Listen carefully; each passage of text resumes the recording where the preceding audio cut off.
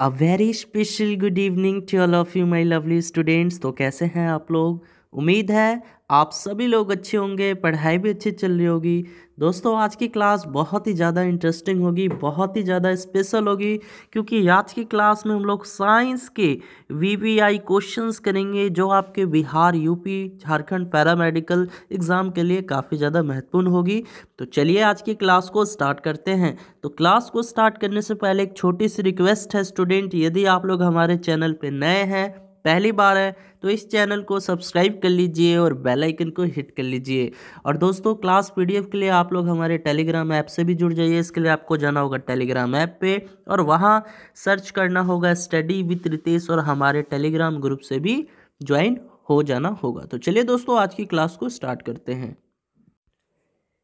चलिए स्टूडेंट, पहला क्वेश्चन है, डाउन की विधि से किसे प्राप्त किया जाता है? बताना है what is obtained by Downs method तो डाउन्स की प्रक्रिया के द्वारा किसे प्राप्त किया जा सकता है? बताना है, पहला ऑप्शन है सोडियम दूसरा ऑप्शन है एल्युमिनियम तीसरा ऑप्शन है कॉपर चौथा ऑप्शन है सिल्वर यानी एजी जल्दी से बताइए बच्चों, बिल्कुल फास्ट तो वेरी गुड स्टूडेंट यदि आपने जवाब दिया है ऑप्शन नंबर ए देन आपका आंसर सही है, ठीक है? तो डाउन की विधि से जो है सोडियम को प्राप्त किया जाता है। अब देखिए, क्वेश्चन और बन जाता है कि डाउन की प्रक्रिया में जो सोडियम है ना, वो किसके इलेक्ट्रोसिस द्वारा प्राप्त किया जाता है? देखिए, ये भी क्वेश्चन बन जाता है बच्चों, कि डाउन की प्रक्रिया में, लिख लीजिएगा इसको, ठीक है? डाउन की प्रक्रिया में सोडियम, डाउन की प्रक्रिया में सोडियम जो है, किसके इलेक्ट्रोसिस द्वारा प्राप्त किया जाता है? डाउन की प्रक्रिया में सोडियम किसके इलेक्ट्रोसिस किसके इलेक्ट्रोसिस द्वारा प्राप्त किया जाता है? तो बच्चों, इसका आंसर क्या होगा? तो इसका भी आंसर आपको याद रखना है कि डाउन की प्रक्रिया में जो है सोडियम किसके इलेक्ट्रोसिस द्वारा प्राप्त किया जाता है? तो मोल्टन सोडियम क्लोराइड। ठीक है, इसको लिख लीजिएगा, मोल्टन सोडियम क्लोराइड। यानी एन मोल्टन सोडियम क्लोराइड। ठीक है, चलिए चलिए स्टूडेंट, बढ़ते हैं अगले क्वेश्चन की तरफ़। चलिए स्टूडेंट, अगला प्रश्न है, वैलियम वैलियम है, क्या है? पीड़ाहारी है, प्रतिरोधी है, प्रतिहिस्टामीन है, प्रशांतक है। जल्दी बताइएगा, वैलियम क्या है? बिल्कुल फास्ट, यानी देखिए, पीड़ाहारी, यानी जिसको इंग्लिश में एनाल्जेसिक कहेंगे, एनाल्जेसिक, ठीक है? और प्रतिरोधी यानी एंटीसेप्टिक ठीक है, मैं लिख देता हूँ इंग्लिश में, काफ़ी बच्चे इंग्लिश मीडियम से हैं तो उनको भी दिक्कत नहीं होगा। प्रतिहिस्टामिन का मतलब क्या होता है? एंटी हिस्टामीन ठीक है एंटी हिस्टामाइन और इसके बाद प्रशांतक का क्या हो जाएगा? रिलैक्सेंट रिलैक्सेंट तो जल्दी बताइए। देखिए, वैलियम क्या है? वैलियम जो है ना, बच्चों, एक प्रकार का ये प्रशांतक औषधि है। यानी चिंता को दूर करने में इस औषधि का प्रयोग होता है। क्या है ये एक प्रशांतक, यानी रिलैक्सेंट वगैरह के लिए जो है इसको यूज़ किया जाता है है ना? तो ये वैलियम क्या है? प्रशांतक औषधि है और इसका प्रयोग इसका प्रयोग जो है चिंता वगैरह को दूर करने के लिए किया जाता है, ठीक है? तो ऑप्शन नंबर डी जो है आपके इस क्वेश्चन का राइट आंसर हो जाएगा, ठीक है? चलिए बढ़ते हैं अगले क्वेश्चन की तरफ़। अब अगला प्रश्न है, एसबेस्टॉस। एसबेस्टॉस है, क्या है? कार्बोनेट है, ऑक्साइड है, सिलिकेट है या सल्फाइड है? जल्दी से बताइएगा, एसबेस्टॉस है, ये एक क्या है? बिल्कुल फास्ट।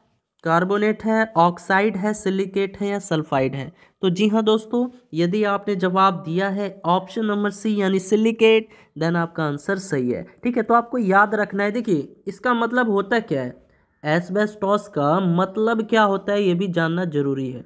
तो बच्चों, इसका मतलब होता है ऐसा पदार्थ जो आग नहीं पकड़ता और ये प्राकृतिक रूप में मिलने वाला सिलिकेट का एक प्रकार होता है, ठीक है? तो ये क्या है? एक प्रकार का सिलिकेट का प्रकार है ये और ये पदार्थ जो है ना चट्टानों में मिलता है और इसकी खाने भी बहुत ज़्यादा होती है, ठीक है?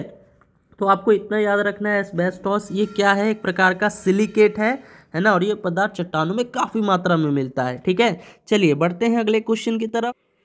चलिए स्टूडेंट अगला प्रश्न है टिंडल प्रभाव से एक विलियन का पता लगाया जा सकता है। जल्दी से बताना है टिंडल प्रभाव से एक विलियन का पता लगाया जा सकता है। कौन सा विलियन होगा? प्रोटीन का, लिपिड का कोलाइडिक कण का या हार्मोन का? जल्दी से बताइएगा।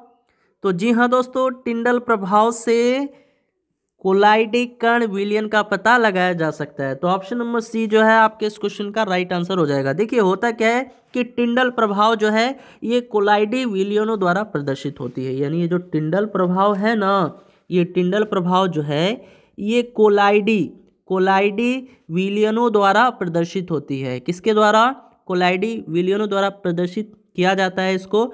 और ये प्रभाव जो है, ये प्रभाव काफ़ी बड़े आकार के कणों द्वारा प्रकाश के विक्षेपण का कारण भी बनता है। और यही कारण है कि इन कोलाइडी विलियनों में प्रकाश दिखाई देता है। अब देखिए, जैसे धुआँ हो गया आपका, धुआँ हो गया, आकाश का नीला रंग हो गया, है ना, धुआँ हो गया, आकाश का नीला रंग हो गया, ये सभी क्या है बच्चों? ये सभी कोलाइडी विलियन है। ये सभी जो है ना, कोलाइडी विलियन है। और टिंडल प्रभाव ये सभी प्रदर्शित करते हैं। ठीक है? ये भी याद रखना है। ठीक है? चलिए, बढ़ते हैं अगले क्वेश्चन की तरफ़।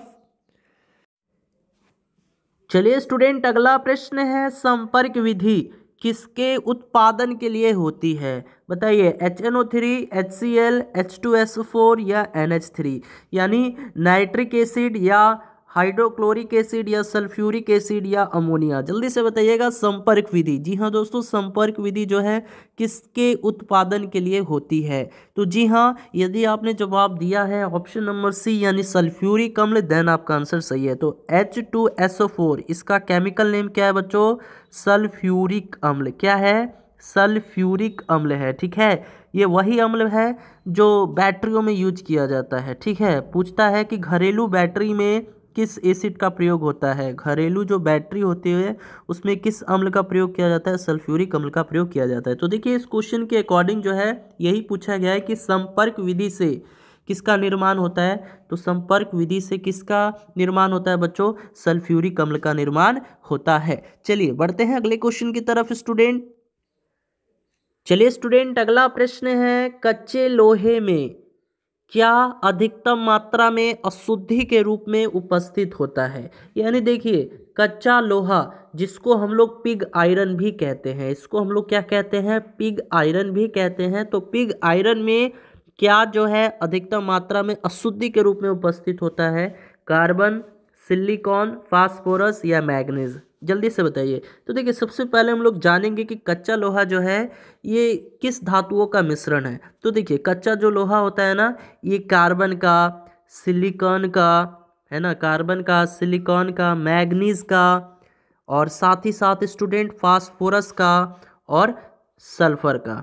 फास्फोरस और सल्फ़र का ये क्या होता है? मिश्र धातु होता है। यानी मैं क्या बताया?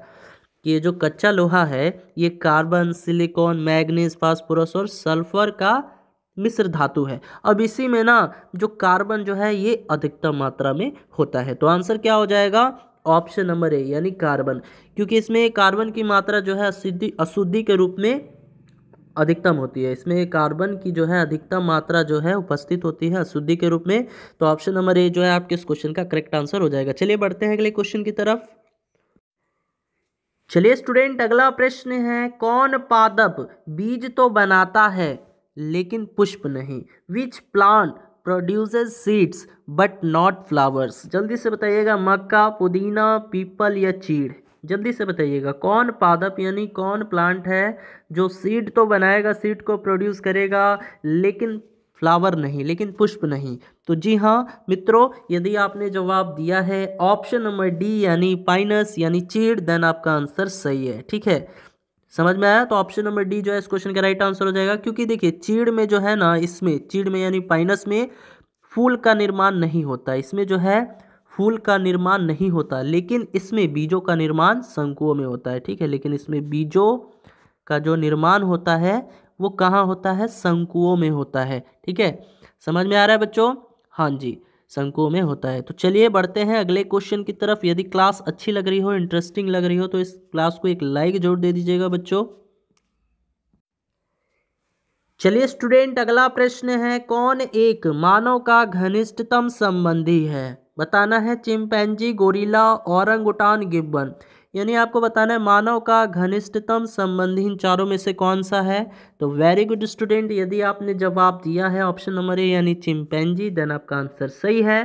तो बच्चों, याद रखना है, देखिए, मानव और चिंपैंजी का जीनोम क्रम जो है ना, वो अंठानवे दशमलव आठ प्रतिशत समान है है ना? यानी मानव और चिंपैंजी का जो जीनोम क्रम है है ना जीनोम क्रम, ये क्या है? लगभग अंठानवे दशमलव आठ प्रतिशत समान है और मानव और चिंपैंजी का जो गुणसूत्र होता है वो भी बहुत हद तक समान है। इसीलिए जो है, मानव का घनिष्ठतम संबंधी किसे माना गया है? चिंपैंजी को माना गया है, ठीक है? चलिए, बढ़ते हैं अगले क्वेश्चन की तरफ़ स्टूडेंट चलिए स्टूडेंट अगला प्रश्न है, कोहनी किस प्रकार की संधि है? खुंटीदार, कब्जा, विसर्पी, कंदुक खलिका यानी प्रश्न ये है कि हमारी कोहनी जो होती है, उसमें किस प्रकार की संधि होती है? बताइएगा किस प्रकार की संधि होती है? तो देखिए बच्चों, सबसे पहले जानिए आप लोग संधि के बारे में, ठीक है? कि संधि का मतलब क्या होता है? तो इसका मतलब होता है बच्चों, ज्वाइंट। यानी कहने का मतलब दो अस्थियों के जुड़ने का स्थान। क्या? दो अस्थियों दो अस्थियों के जुड़ने का स्थान, दो अस्थियों के जुड़ने का स्थान को ही हम लोग क्या कहते हैं? ज्वाइंट कहते हैं, यानी संधि कहते हैं। अब देखिए, अब बात आई है कोहनी, पूछा है कि कोहनी किस प्रकार की संधि है? तो यहाँ पर कोहनी की संधि। कोहनी की संधि जो होती है बच्चों, वो कैसी होती है? तो हाथ की ह्यूमरस ध्यान दीजिएगा, हाथ की ह्यूमरस तथा रेडियो अल्ला के बीच की अस्थि। अब यहाँ पे जो कोहनी की संधि होती है ना, ये कैसी होती है? तो हाथ की ह्यूमरस तथा रेडियो अल्ला के बीच की अस्थि। रेडियो अल्ला के बीच की अस्थि, ठीक है? रेडियो अल्ला के बीच की अस्थि। अब इसी के मिड पॉइंट को, है ना? कौन सा संधि कहा गया है? यानी हाथ की ह्यूमरस तथा रेडियो अल्ला के बीच की अस्थि को क्या कहा गया है? कब्जा संधि कहा गया है। ठीक है, कब्जा कहा गया है। तो इसका आंसर क्या हो जाएगा? हमारी कोहनी जो है, किस प्रकार की संधि होती है? तो ये कब्जा संधि होती है। डायरेक्ट याद कर लीजिएगा बच्चों, पूछा जाता है। ठीक है, चलिए बढ़ते हैं अगले क्वेश्चन की तरफ़। तो अभी देखिए, स्टूडेंट आपसे पूछा था, कोहनी किस प्रकार की संधि है? मान लीजिए आपसे पूछ ले कि गुठने, है ना, गुठने के बारे में पूछ ली कि गुठने की संधि किस प्रकार की संधि होती है? गुठने की जो संधि है, वो किस प्रकार की होती है? तो ये होती है, इसको भी याद रख लेना है सिनोवियल संधि होती है। साइनोवियल संधि होती है, ठीक है, इसको भी आप लोग याद कर लीजिएगा। साइनोवियल संधि होती है, ठीक है घुटने की संधि किस प्रकार की संधि होती है? सिनोवियल संधि होती है। चलिए, बढ़ते हैं अगले क्वेश्चन की तरफ़। चलिए स्टूडेंट अगला प्रश्न है कौन सी कोशिका हिपेरिन का स्त्रावन करती है? यानी विच सेल सिक्रेट्स हिपेरिन बताइए, उदासीन रागी क्षारक रागी, योसीन रागी या मोनोसाइट जल्दी से बताइएगा कौन सी कोशिका जो है हिपेरिन का सिक्रेशन करती है, यानी स्त्रावन करती है? तो बच्चों डायरेक्ट याद रखना है, क्या होगा इसका आंसर तो ऑप्शन नंबर बी यानी छाड़क रागी, ठीक है? तो कौन सी कोशिका है, छाड़क रागी है, जो हिपेरिन का स्त्रावन करती है? ठीक है? चलिए, बढ़ते हैं अगले क्वेश्चन की तरफ़ स्टूडेंट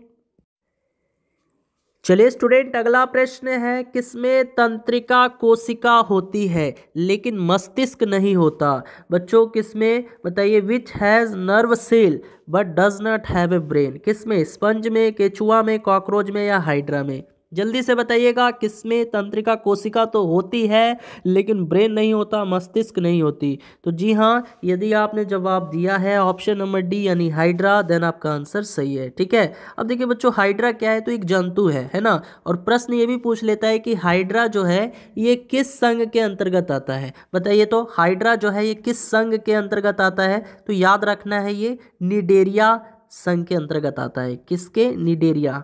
निडेरिया संघ के अंतर्गत आता है, ठीक है? तो निडेरिया संघ का जल में पाए जाने वाला सूक्ष्म दर्शी जंतु है ये, ठीक है?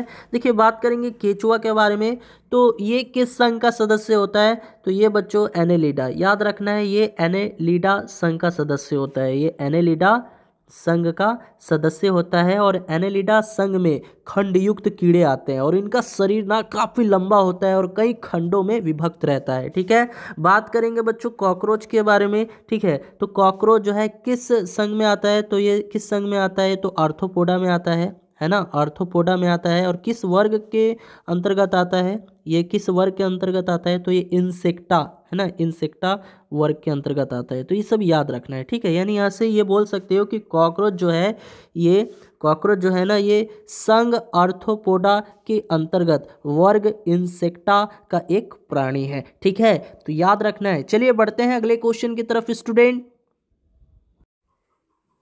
चलिए स्टूडेंट अगला प्रश्न है, एक ट्रेन 400 मीटर लंबे पुल के ऊपर से गुजरती है। यदि ट्रेन की चाल 30 मीटर पर सेकंड है और ट्रेन पुल पार करने में 20 सेकंड का समय लेती है, तब ट्रेन की लंबाई क्या है? देखिए, ये क्वेश्चन वैसे तो मैथ्स का एक टॉपिक है स्पीड टाइम एंड डिस्टेंस उससे पूछा गया है, लेकिन फिजिक्स में भी इस टॉपिक का काफ़ी यूज़ होता है स्पीड टाइम एंड डिस्टेंस का, है ना? यानी समय, दूरी और चाल का। तो आइए बनाते हैं। तो बच्चों, आप लोग एक फॉर्मूला जानते होंगे, चाल बराबर दूरी बटा समय। आप में से काफ़ी बच्चे फॉर्मूला जानते होंगे कि चाल बराबर दूरी बटा समय होता है। क्या होता है बच्चों?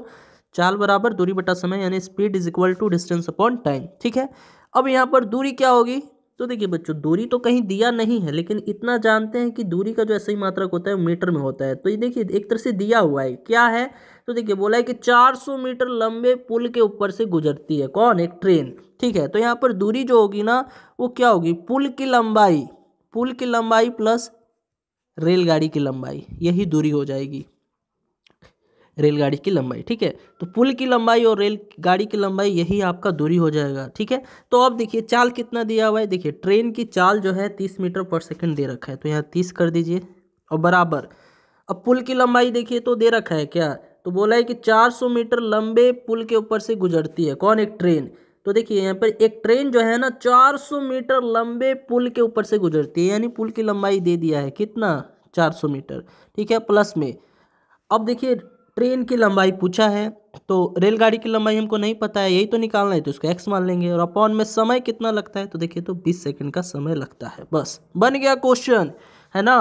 तो तीस में अब बीस से गुना कीजिए, तीस में बीस से गुना कीजिएगा, छः सौ आएगा तो छः सौ बराबर चार सौ प्लस एक्स तो एक्स का वैल्यू कितना आ जाएगा तो एक्स बराबर दो सौ। तो यहाँ से 200 मीटर जो है आपके इस क्वेश्चन का आंसर आ जाएगा, यानी एक्स क्या माना था आप लोगों ने? रेलगाड़ी की लंबाई। ठीक है तो रेलगाड़ी की लंबाई कितनी है? ट्रेन की लंबाई कितनी है? 200 मीटर है।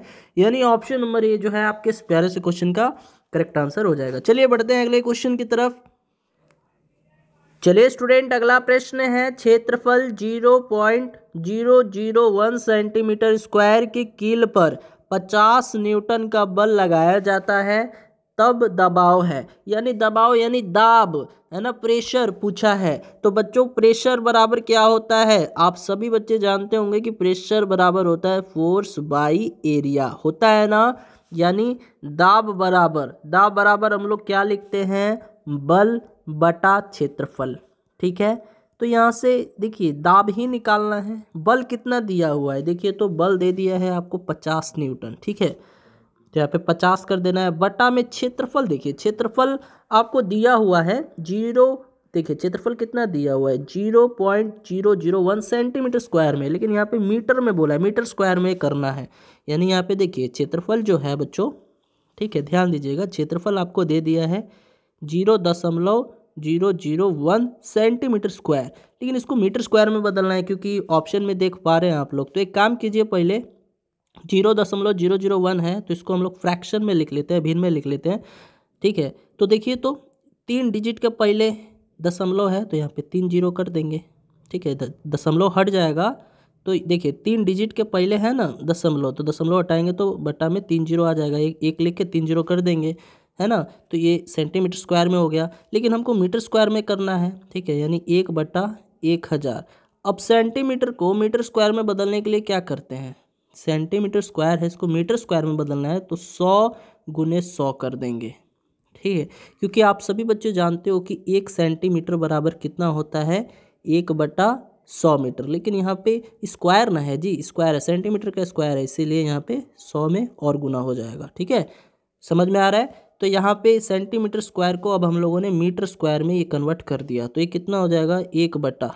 ठीक है, एक बटा। अब देखिए तो ज़ीरो काउंट कीजिए तो एक, दो तीन, चार, पाँच, छः, सात। यानी एक बटा दस के पावर सात बोल सकते हैं। ऑफकोर्स बोल सकते हैं क्षेत्रफल, ठीक है? तो यहाँ से अब लिखिए दाब बराबर पचास और बटा में क्षेत्रफल कितना है? एक बटा दस के पावर सात है, ठीक है? तो अब देखिए यहाँ से दाब कितना आ जाएगा? तो दाब आ गया है बच्चों पचास। अब ये दस का पावर सात है, ऊपर चला जाएगा। तो पचास गुनी दस के पावर सात न्यूटन मीटर स्क्वायर, ठीक है? हाँ जी तो ऑप्शन नंबर क्या हो जाएगा बच्चों बताइए जल्दी से। तो ऑप्शन नंबर जो है सी आपके इस प्यारे से क्वेश्चन का करेक्ट आंसर हो जाएगा, ठीक है? चलिए बढ़ते हैं अगले क्वेश्चन की तरफ़ स्टूडेंट चलिए स्टूडेंट ध्यान दीजिएगा, अगला प्रश्न है, दाब का एक मिली बार इसके लगभग बराबर है। तो बच्चों प्रेशर का जो एक मिली बार है, वो किसके बराबर होता है? तो एक बटा सौ न्यूटन पर मीटर स्क्वायर के या एक न्यूटन पर मीटर स्क्वायर के या दस न्यूटन पर मीटर स्क्वायर के या सौ न्यूटन पर मीटर स्क्वायर के। जल्दी से बताइएगा, सभी स्टूडेंट बताएँगे जी, बिल्कुल फास्ट। तो बच्चों, याद रखिएगा, दाब का जो एक मिली बार होता है ना, दाब का जो एक मिली बार होता है, दाब का एक मिली बार जो होता है ना, वो एक बटा सौ न्यूटन पर मीटर स्क्वायर के बराबर होता है। याद रखिएगा, दाब का एक मिली बार जो है, ये एक बटा सौ न्यूटन पर मीटर स्क्वायर के बराबर होता है। याद कर लेना है। चलिए बढ़ते हैं अगले क्वेश्चन की तरफ़। हाँ जी तो ऑप्शन नंबर क्या हो जाएगा? ऑप्शन नंबर ए, ठीक है? ऑप्शन नंबर ए जो है, इस प्यारे से क्वेश्चन का करेक्ट आंसर हो जाएगा। चलिए बढ़ते हैं अगले क्वेश्चन की तरफ़। चलिए स्टूडेंट, अगला प्रश्न है, एक तरंग 0.8 सेकंड में 24 चक्कर पूरे करती है। तो इस तरंग का आवर्तकाल होगा। देखिए तरंग का आवर्तकाल पूछा है, ठीक है? तो आवर्तकाल कैसे निकालते हैं? इसका सूत्र क्या होता है? तो आवर्तकाल बराबर होता है वन बटा आवृत्ति, यानी टाइम पीरियड। टाइम पीरियड, आवर्तकाल को क्या कहते हैं? टाइम पीरियड कहते हैं। टाइम पीरियड बराबर क्या होता है? One upon frequency. अरे, बोलते हो ना, एफ़ बराबर। क्या बोलते हैं? एफ़ बराबर बोलते हो ना, वन अपॉन टाइम पीरियड। तो वही है, टाइम पीरियड बराबर क्या हो जाएगा? वन अपॉन एफ़ हो जाएगा, ठीक है? तो देखिए, अब आपको आवृत्ति निकालनी होगी तो आवृत्ति पता चल जाएगा तो आपको आवर्तकाल पता चल जाएगा। तो देखिए, आवृत्ति निकालेंगे तो आवृत्ति, देखिए, आवृत्ति बराबर क्या हो जाएगा यहाँ पे? देखिए तो समय दिया है और 24 चक्कर पूरे करती है, बोला है है ना? तो यहाँ पर एक आवृत्ति निकालने का फॉर्मूला होता है एन अपॉन टी एन क्या है? एन क्या है बच्चों? नंबर ऑफ़ साइकिल्स, दोलनों की संख्या तो कितना है? देखिए, कितना है? चौबीस चक्कर। दोलनों की संख्या कितनी है? चौबीस है। और बट्टा में समय कितना लग रहा है? ज़ीरो पॉइंट एट, है ना? तो यहाँ से आवृत्ति निकल जाएगी। तो निकालिए तो आवृत्ति कितना आया? आवृत्ति बराबर कितना आ जाएगा? तो देखिए, एक दशमलव को हटाइएगा तो ऊपर ज़ीरो आ जाएगा। यानी दस कर सकते हैं। तो देखिए तो 240 को काटिए, आठ के पार्ट से तीस बार में चला जाएगा। तो आवृत्ति कितनी आ जाएगी? तीस। तीस आ जाएगी। आवृत्ति जो है तीस आ गई, ठीक है? समझ में आया बच्चों? अब देखिए, अब यहाँ से आवर्तकाल निकालना है। तो आवर्तकाल बराबर वन अपॉन आवृत्ति कितनी है? तीस है। तो कितना आ गया आवर्तकाल तो वन अपॉन थर्टी। थर्टी जो है, सेकेंड आपका आ जाएगा आवर्तकाल ठीक है? तो आंसर क्या हो जाएगा? Option number C. जी हाँ दोस्तों, ऑप्शन नंबर सी जो है इस से क्वेश्चन का राइट आंसर हो जाएगा। चलिए बढ़ते हैं अगले क्वेश्चन की तरफ़। चलिए स्टूडेंट आज की क्लास का लास्ट क्वेश्चन रहेगा और प्रश्न है कि एक उत्तल दर्पण से बना प्रतिबिंब हमेशा होता है। यानी the image formed by a convex mirror is always तो जल्दी से बताना है, उत्तल दर्पण में जो प्रतिबिंब बनता है, वो कैसा बनता है? उत्तल दर्पण में वस्तु का प्रतिबिंब जो है कैसा बनता है? वास्तविक, अभिवर्धित आभासी एवं अभिवर्धित या छोटा। जल्दी से बताइएगा, प्यारे बच्चों, देखिए, जल्दी से बताइएगा कन्वेक्स मिरर में जो प्रतिबिंब बनता है, जो इमेजेस बनता है ऑब्जेक्ट का, वो कैसा बनता है? तो जी हाँ मित्रों, देखिए, होता क्या है कि इसमें किसी भी वस्तु का जो प्रतिबिंब होता है ना, वो काल्पनिक और सीधा तथा वस्तु के आकार से छोटा बनता है। कैसा बनता है? देखिए, इसमें किसी भी वस्तु का जो प्रतिबिंब बनता है, कैसा बनता है? काल्पनिक, सीधा। यानी real and erect real erect बनता है। इसमें किसी भी वस्तु का जो प्रतिबिंब होता है, काल्पनिक, सीधा और वस्तु के आकार से छोटा और वस्तु के आकार से छोटा बनता है। तो जल्दी से बता दीजिए क्या आंसर होगा? वस्तु के आकार से छोटा बनता है।